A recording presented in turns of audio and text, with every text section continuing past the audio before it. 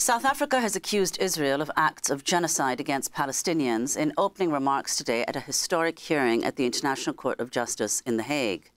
At the hearing, South Africa demanded an emergency suspension of Israel's aerial and ground assault on Gaza, which it said was intended at bringing about, quote, the destruction of the population of the territory.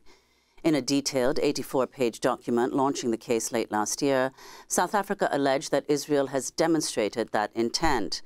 The International Court of Justice is hearing South Africa's arguments today and will hear Israel's response to the allegations on Friday. South Africa's Justice Minister Ronald Lamola addressed the court at the opening of the hearing. Madam President and distinguished members of the court, it is an honor for me to stand here in front of you on behalf of the Republic of South Africa on this exceptional case in extending our hands across the, the, miles to the people of Palestine, we do so in full knowledge that we are part of a humanity that is at one.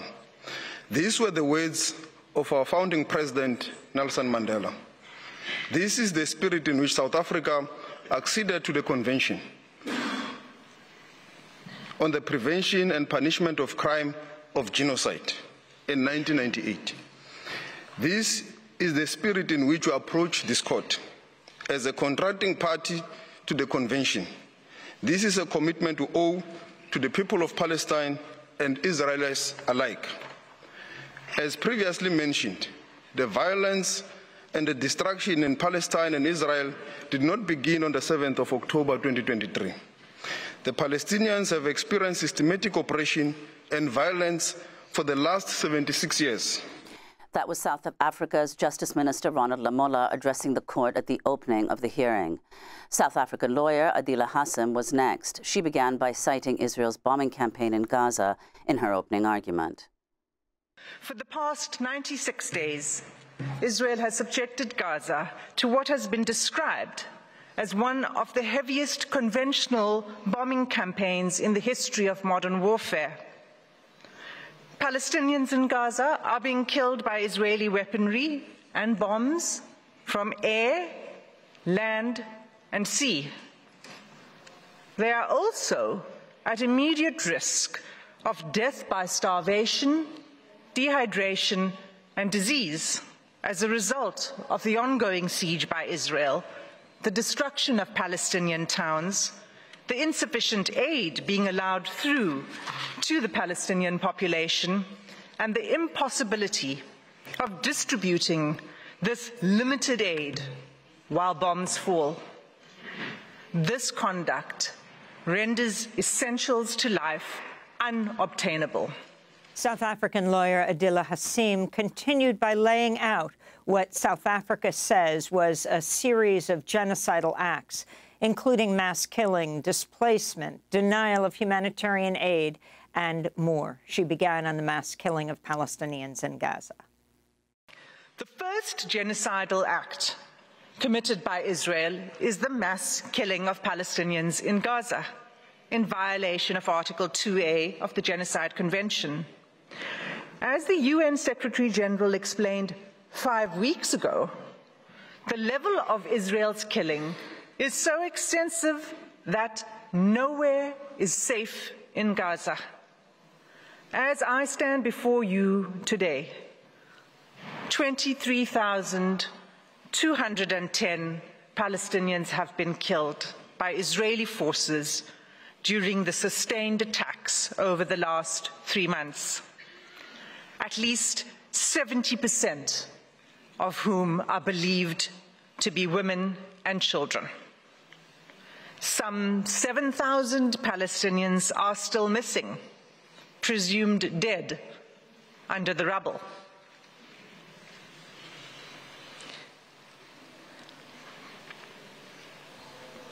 Palestinians in Gaza are subjected to relentless bombing wherever they go.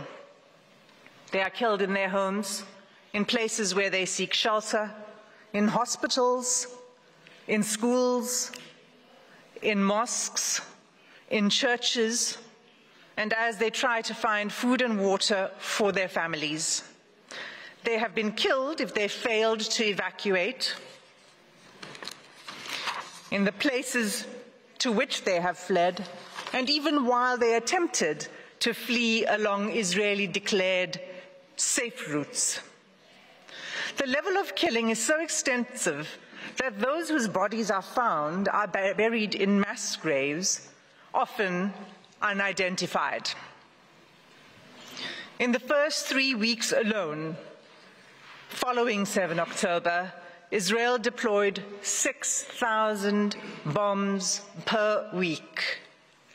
At least 200 times it has deployed 2,000 pound bombs in southern areas of Palestine designated as safe.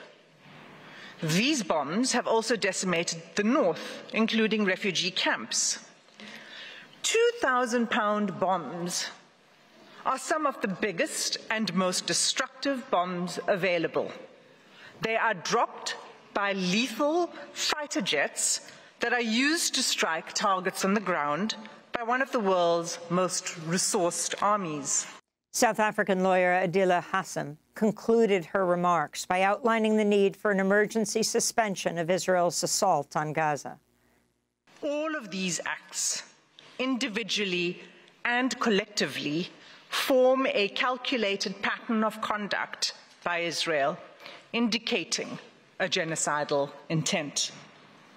This intent is evident from Israel's conduct in specially targeting Palestinians living in Gaza, using weaponry that causes large scale homicidal destruction as well as targeting, snipe, targeted sniping of civilians, designating safe zones for Palestinians to seek refuge, and then bombing these, depriving Palestinians in Gaza of basic needs. Food, water, healthcare, fuel, sanitation, and communications, destroying social infrastructure, homes, schools, mosques, churches, hospitals, and killing, seriously injuring, and leaving large numbers of children orphaned. Genocides are never declared in advance. But this court has the benefit of the past 13 weeks of evidence that shows incontrovertibly a pattern of conduct and related intention that justifies a plausible claim of genocidal acts. In the Gambia Myanmar case, this court did not hesitate to impose provisional measures in relation to allegations that Myanmar was committing genocidal acts against the Rohingya within the Rakhine state. The facts before the court today are sadly even more stark, and like the Gambia Myanmar case, deserve and demand this court's intervention. Every day, there is mounting irreparable loss of life, property, dignity, and humanity for the Palestinian people. Our news feeds show graphic images of suffering that has become unbearable to watch.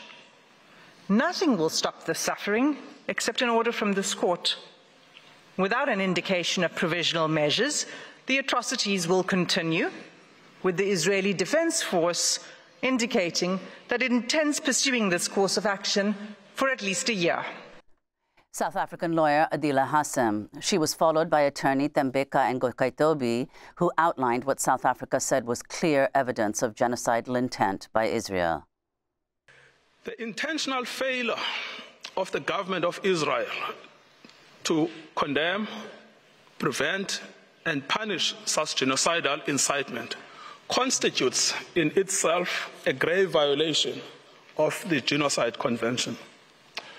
We should recall, Madam President, that in Article 1 of the Convention, Israel confirmed that genocide, whether committed in time of peace or in time of war, is a crime under international law. and it undertook to prevent and to punish it as such. This failure to prevent, condemn, and punish such speech by the government has served to normalize genocidal rhetoric and extreme danger for Palestinians within Israeli society.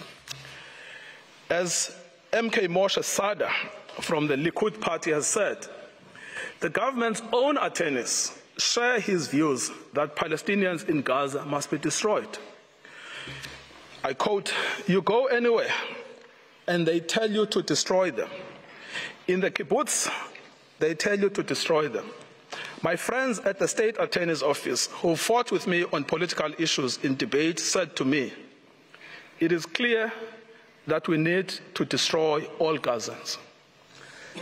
Destroy all Gazans.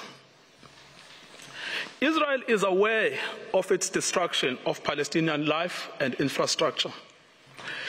Despite this knowledge, it has maintained and indeed intensified its military activity in Gaza.